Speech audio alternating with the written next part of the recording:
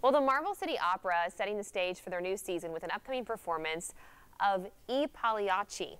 As Emily DeVoe tells us, they have just two weeks to go before opening night, and the performers haven't even had their first rehearsal together. Catherine Frady prepares for her role in Marble City Opera's upcoming production at home you really have to prepare and have it completely memorized and off book before you get to rehearsals anyway. So that's kind of in our favor.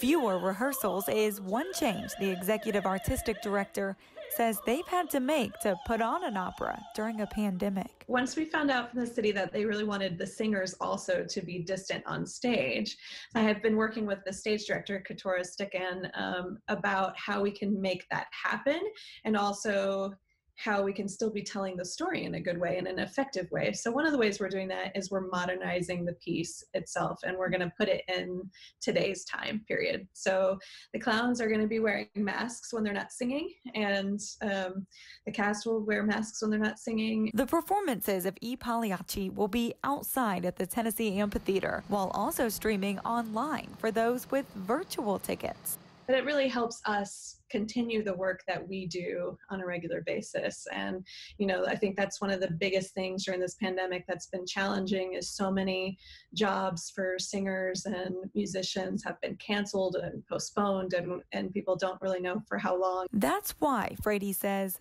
all the challenges they've overcome before opening night are worth it. Arts are so important in our community, not just for the artists themselves. I mean, it is our livelihood, it is our work, and um, it's important, I think, for us to be able to get back to work as artists. Um, so that's one of the reasons why I really find that this is an important project for us. For Live at 5 at 4, I'm Emily DeVoe. The production runs all next weekend, August 13th through the 15th. You can purchase some tickets online.